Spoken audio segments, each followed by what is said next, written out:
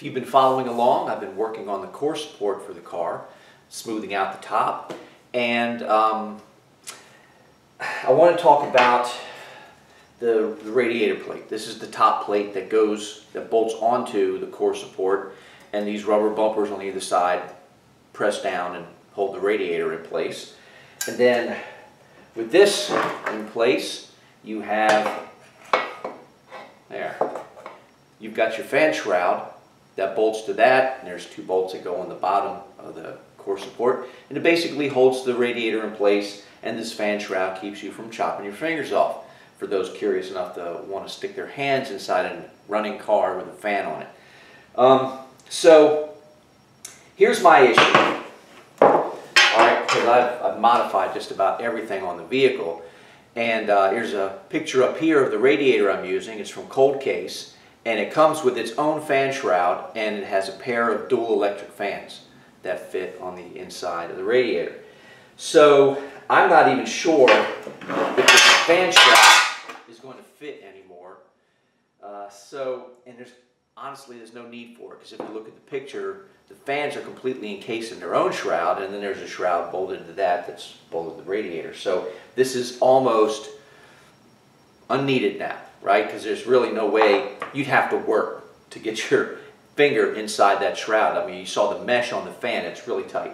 So uh, I want I want the look of the fan shroud on the top, and I also made uh, a custom inspection sticker or, or emission sticker. And I kind of want to put it back on the car, but I don't want this big bulky thing on. And I guess I could, I could cut it and then just bolt the top part on. But then, I mean, this is, this is a really good shape. I hate to destroy it just to have this little top part. And it, honestly, I've always thought it's kind of, it's too big, right? I mean, it needed to be big because the fan was in there. It needed room for the engine to move a little bit and the fan not come in contact with it, but I don't need that. So was thinking about it and I, I went on to the interwebs and uh, I found this. This is a picture of a 1967 Olds Toronado radiator top plate. And um, Back in the 60s, I don't think they were all too concerned about your safety. or at least it wasn't a, a, major concern like it is now. I mean, kids were riding around with no helmets on. Um, you were skating with no pads, and you were just you were just living free, man. And if you fell down and cracked your skull open, well, you know, you learn how to skate better. And the same thing with uh, with cars. The the old radiator top plates would sometimes just have made onto it just a, a round circular piece of metal that just maybe had like caution stamped in it or had a little sticker on it. And if you decided to put your hands past that, you were touching fan and, you know, that's on you. at least that's how they were thinking back then, I think. So uh, I looked at that 67 and I thought, you know, I wonder if I could buy that and maybe like just kind of like mold that onto this, like weld it on or something and make it work. But then I thought, um, well actually what I did was I looked and I saw how much one of those were and I'm like, I'm not going to spend that kind of money to to buy some original part just to cut it in half or, or try to make it work with this and maybe it doesn't. So I'm going to try my hand at just making a bolt-on fan shroud. So basically I'm just going to take this basic principle it's going to have something that I can bolt to the top cover and it will just be one sheet that goes across and it'll have a curve in it and then that'll be my fan shroud since it's really just there for looks and for me to be able to put my custom emission sticker on because that's what I want. So the idea is to take, this went down to my local hardware store and I bought just some sheet metal. I measured out the thickness on the top plate and it was 16 gauge, which is perfect because they just had 16 gauge flat sheet in stock.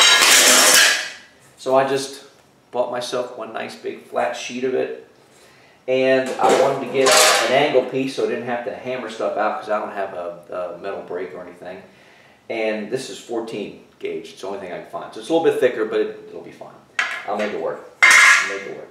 So what I want to do, you can see, this is the basic shape of the, of the, the circle that they use for the fan shroud. So I'm going to use this as a template and keep that basic circle. So when it comes up, that's the kind of arc I'm going to have at the top of the fan shroud. So easy enough, I just took this one piece and you can see there's a circle or a half circle drawn on it. I just mated that up to the back of this, put it on, how's that? Yeah. Put it on and lined it up and then traced it out. So that noise is my basic shape. And that's about, that's all, that's too much right there, but that's about that much maybe is what I want to come up over top of the, the top plate. So uh, that was the basic idea. So I'm just going to try to mold the individual pieces. So I'll mold the crown, have that one piece. I'll try to either cut this plate out and use it for the front and um, then use this, cut it to the right length, and then I'll weld it to this, and then this will have the holes in it, and I'll bolt it to the cover, and that should be it. So that's what we're going to try. So let me move the camera, and I'll show you some of the nuts and bolts of what I'm trying to do here. So we got the top plate. We need to get our measurement here uh, from bolt to bolt. Uh, let's call that 23. So we'll move this out of the way for a sec. Bring our angle in. Let's mark that. 23.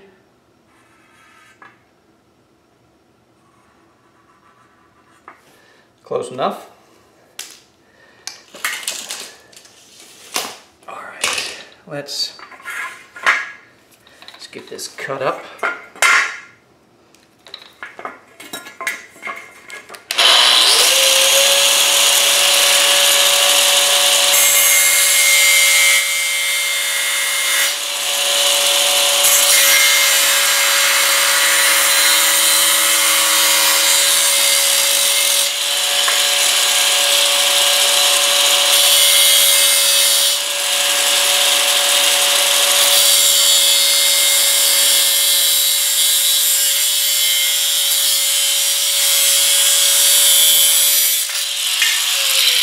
Get this back straight. This will be, and this will be our bolt piece. Now, here's some of the issue.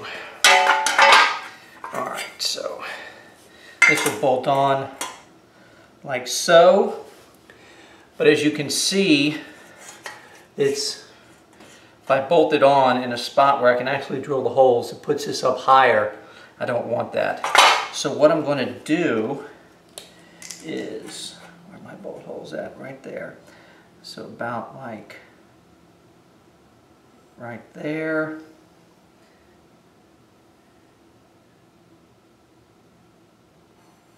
Right there. So we'll cut those ends right there. Because what I'm going to do is I'm actually going to I'm going to cut this right along this line, the first line, and then I'm going to actually bend this up. This essentially, that way I can put the hole up here somewhere, and that'll actually move that down to where it's level with that, and it looks a little better. So that's the next step. Let's get that cut.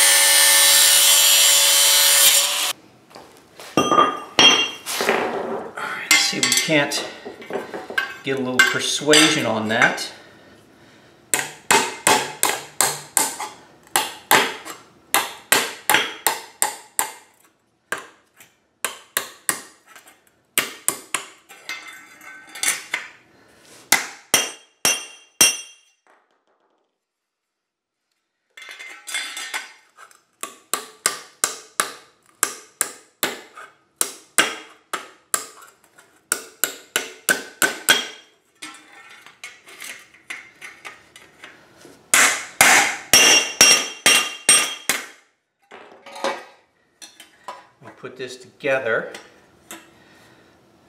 Put our holes in. Won't use all of that, but we'll use most of that. When I get to it, don't need to be that high.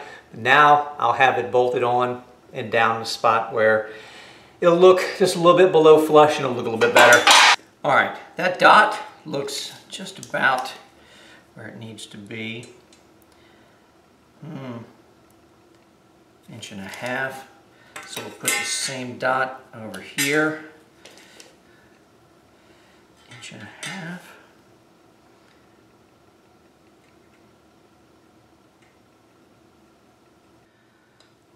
Center punch. Same thing over here.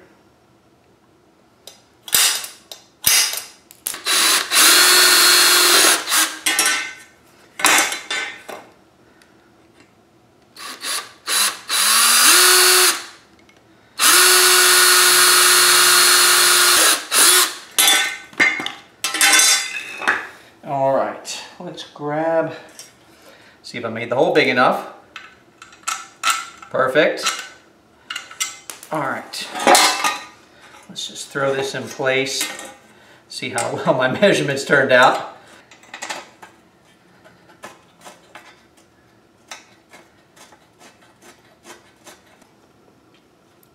There it is bolted together. Let's call that call that done. Here is just a piece of flat sheet. This is my, hmm, that's about right. I don't have anything to curve the metal, so I'm using what I got. I had a stool. It's about the right circumference. Let's get that out of the way. So just kind of bend it around to the arc that I want. Here is my traced out piece of metal. So this is what I used. I used the fan shroud. Get that centered. So I used the fan shroud and just trace that onto the sheet metal. Get this up here you can see. And then now I am just bending this to, oh that is so close.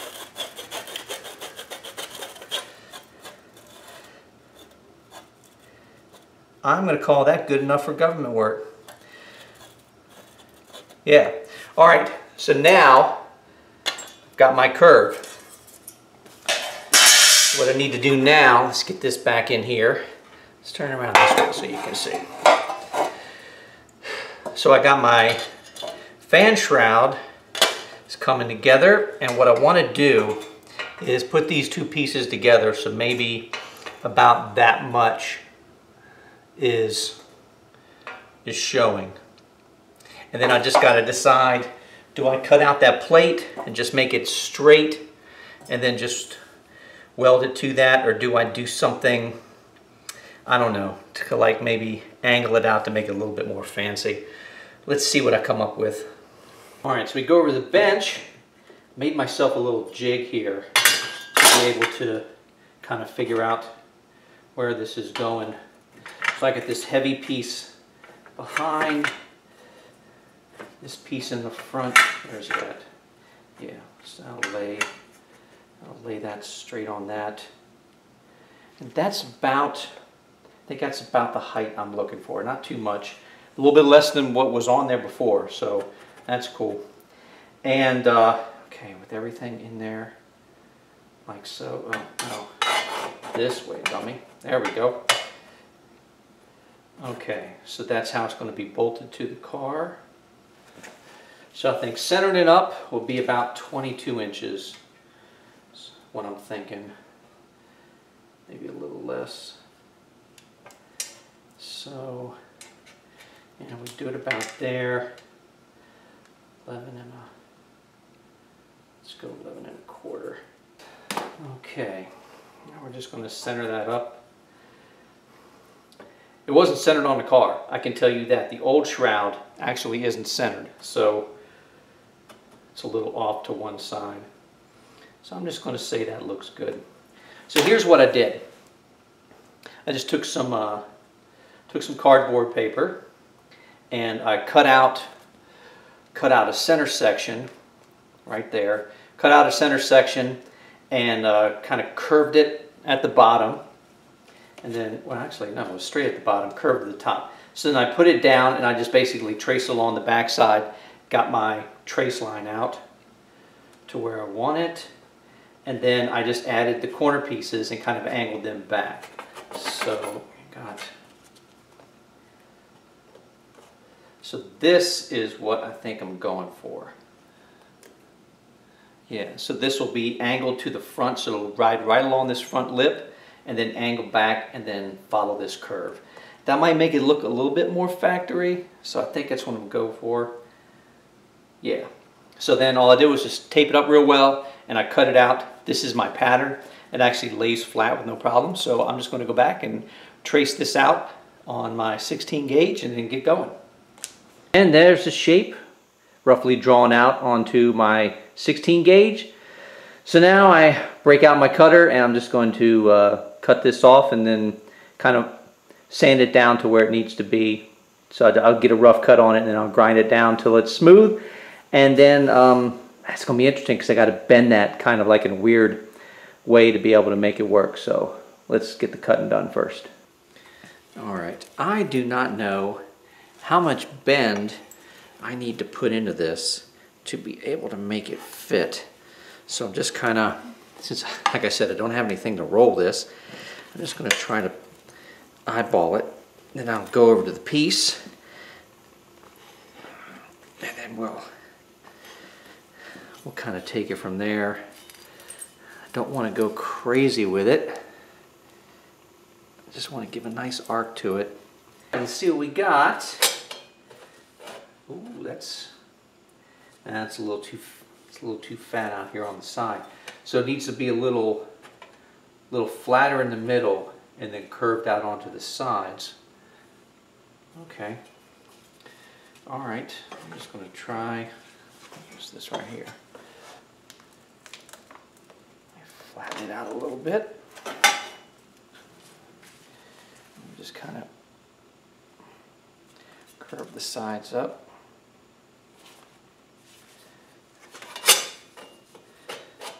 that's looking. All right, so I think, I think I need to bring it down just a little bit across here. Uh, this looks sloppy, but I'm going to make it better. I just want to give myself an idea so your line is right about there. All right, I am going to I'm going to grab a scribe and just try to run a nice straight line across that. But I know I got to come down enough to get that because it's hanging too far in the front. It's too top heavy here. But the sides are looking okay, I think. I think if this if this comes down here, I think it'll be looking better. All right Let me do a little bit more cutting. So after back and forth on the bench grinder, literally probably like the last half hour, it's been bench grinder, grind a little, come back, check it, grind a little, come back, check it. That, that is looking pretty good. There's a little gaps here and there, but it's going to get welded anyway, so I'm going to be able to, I think, fill that stuff in rather nicely. Yeah, I think we're just about what I've been doing. If you see all these marks on it. So I go back, grind it, come back, and then I look, where's my interference? So there's, there's air gap over here and air gap over here, so it's still tight. Maybe I'll do it one more time. Right in here, right in the middle. Maybe all the way out to here, actually. All right, back to the bench grinder, but I am very, very close. I could almost stop right now and tack this up, but I'm gonna try to squeak it just a little bit more to get it right in place. So a little bit more work. All right, so after much fiddling, I think, yeah, I think that's gonna lay down nice. Now, the gap isn't perfect on the corners, but it's going to weld it in anyway, so it won't matter. I'll fill that gap, that will be no problem. So, yeah. What do you think? Looks a little bit more factory than just like literally a 90 degree, just straight down. I kind of like that a little bit better. Took a little bit of extra work, more time bench grinding and, and fitting and grinding and fitting and grinding, but yeah, it looks nice. So now I've got to clean up all the pieces and uh, I think we'll be ready to go. Start welding. I like it. All right, I think I'm ready to weld.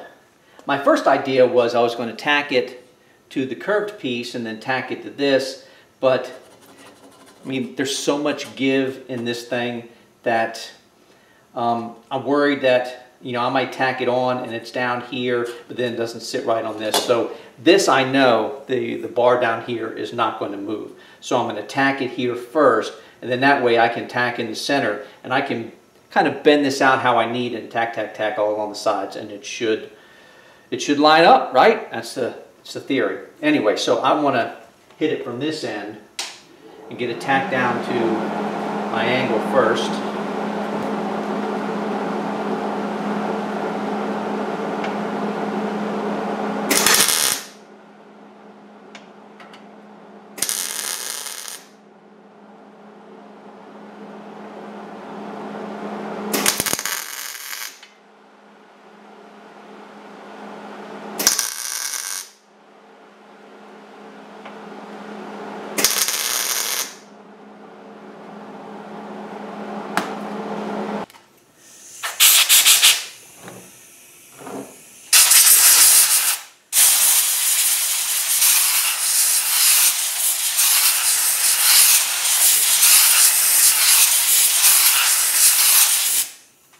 All right, I don't know what my uh, my gap looks like underneath. Oh, I screwed down to that. That's not too bad. I think I'm going to be able to work with that.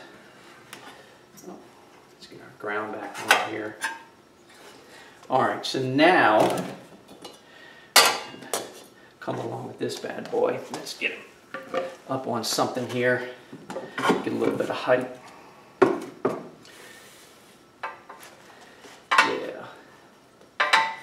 So we'll take our first tack right there, line my center marks up.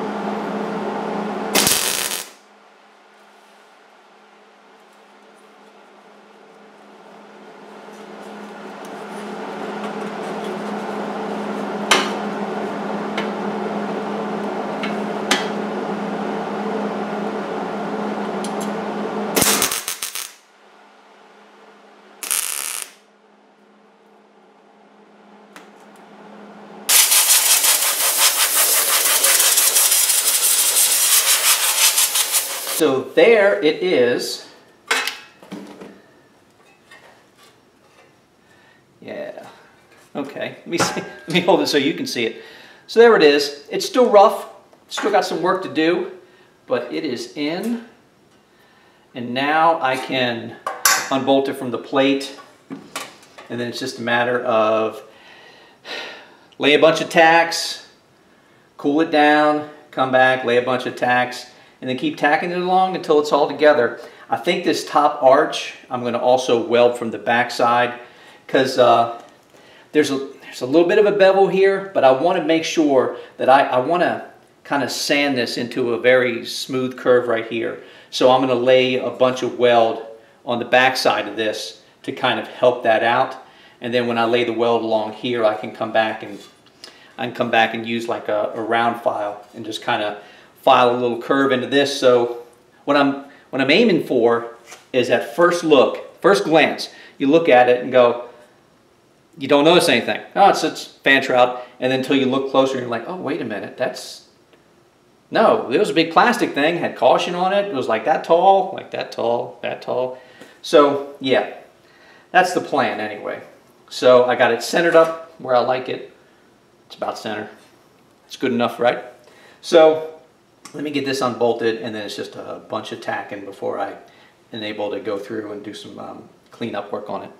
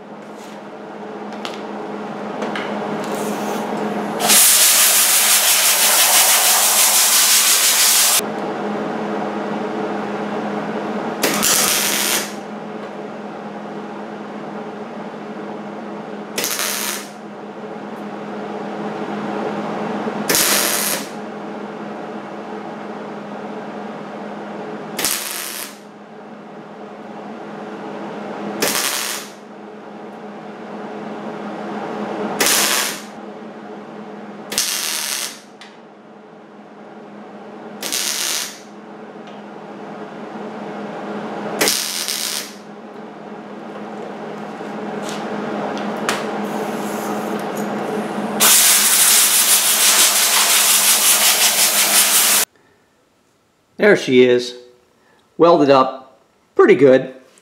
I, I got the front side as much as I could, just kept going back and forth with the spots. And underneath, I put a bunch of tacks all the way across. I will probably leave it like that. And um, then when I, when I put all this, uh, all this weld ground down and smooth, then um, any pinholes that that develop after that, then I might go from the backside and get it just so I want a nice like transition. I don't want like some hard line. Uh, same thing down here. I got a little bit uh, crazy with some of the weld. But anyway, so that's that. So now I got to figure out what to do with the side. I am thinking, I'm thinking right where, right where the point comes, right here um, scribe a line across that, I might try to curve that back up and then join it with this and that way I can transition it into this corner, kind of make that look a little nicer. But like I said, I don't have any uh, metal bending tools, so everything is just on the fly. So I'll have to kind of figure out what way would be best to do that. Maybe I could put it in the vise and bend it across and just, I don't know. We're going to see. We'll find out. Got a regular mess out here going. Let's see what we can do. Let me get that right about like so. If I can get that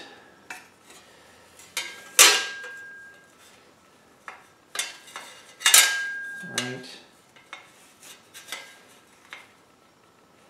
I need a helper. All right. I think if I can get those bends around that general area, should be okay.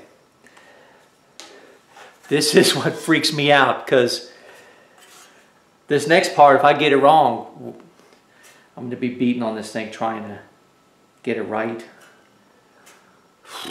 All right. I just did one side and look at that. I'm very happy. It actually came out. Got a little bit of a, oh, big gap right there. But, uh, you know, I'll fill that in. That's not a big deal. I'll work on that. So here's what I did. So I got it down in the vise, as deep as it would go. Try to keep that line somewhat straight. And then I just slowly curved it up. And I just kept moving it up. Let's see.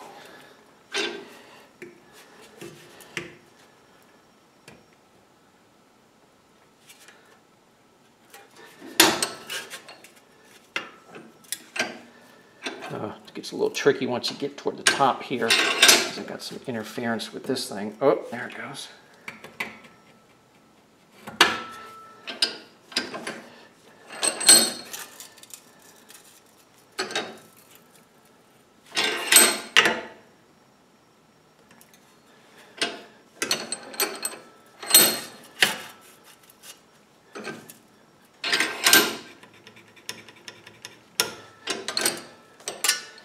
Huh. A little bit more gap on that side. Ooh, big gap. Anyway, um, yeah, I wonder if I can maybe, because I'm trying to look, trying to look to see, does that bend look normal? Just want it to look the same on both sides. Maybe I can put a little bit more of an arc in there. Let's get it back down here.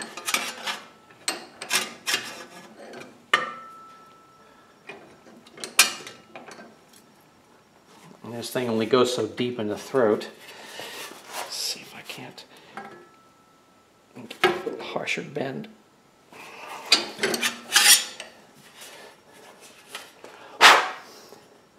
Whew, that's quite the gap on that side. But I gotta say, I gotta say I like that. And then what I can do here, ah, I might have to maybe you know, see the other side, the way I cut it, the other side he comes out right to the end. This side I'm short. So what I may do is cut another, oh, where am I at? Here.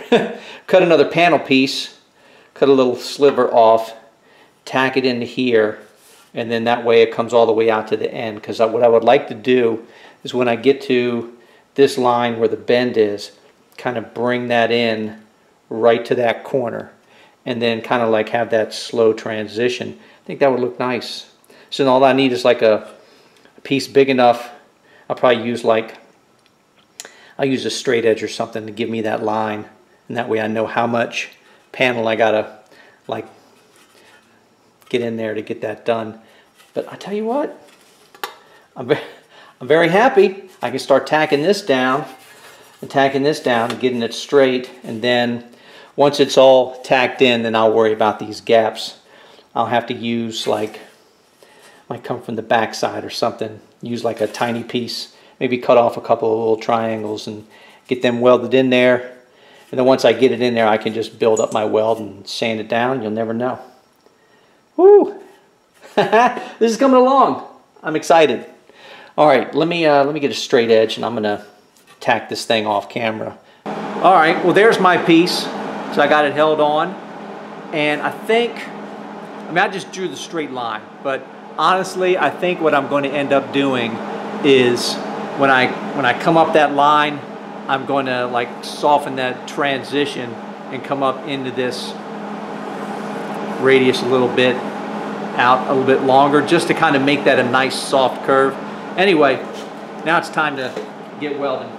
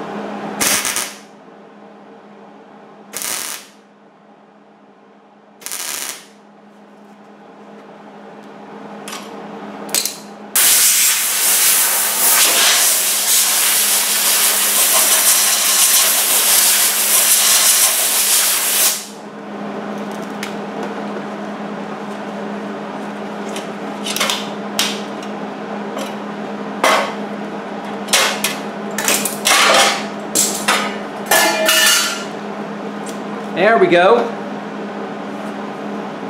It's looking good. Getting there. We are getting there. All right. Um, I'm going to let this cool down a little bit.